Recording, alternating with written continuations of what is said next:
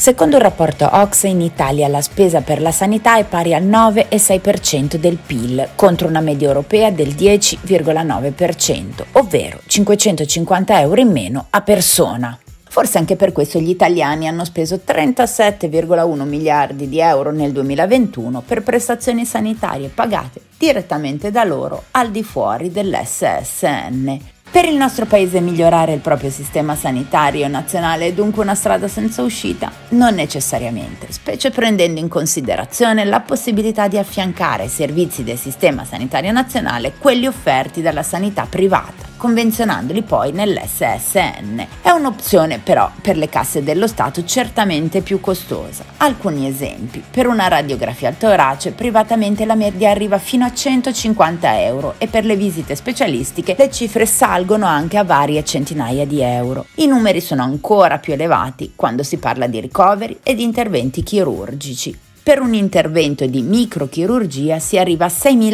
euro, per un intervento toracopolmonare si toccano i 50.000 euro. Che fare quindi? È utile valutare le opportunità offerte dalla sottoscrizione di una polizza assicurativa sulla salute. Al di là del tema strettamente economico, la questione si pone innanzitutto su un piano di tutela più efficiente della salute, visto che, tra le altre cose, un'assicurazione consente di attivare servizi difficilmente accessibili in modo diverso, perché magari troppo costosi o semplicemente non conosciuti.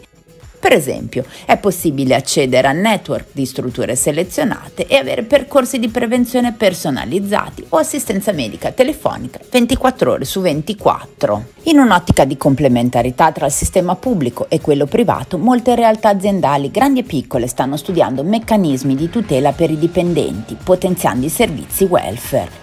Ciò avviene spesso ricorrendo a partnership con compagnie assicurative sul fronte dell'offerta di prestazioni salute e anche il governo spinge in questo senso prevedendo sgravi per le imprese che vanno incontro alle necessità dei lavoratori.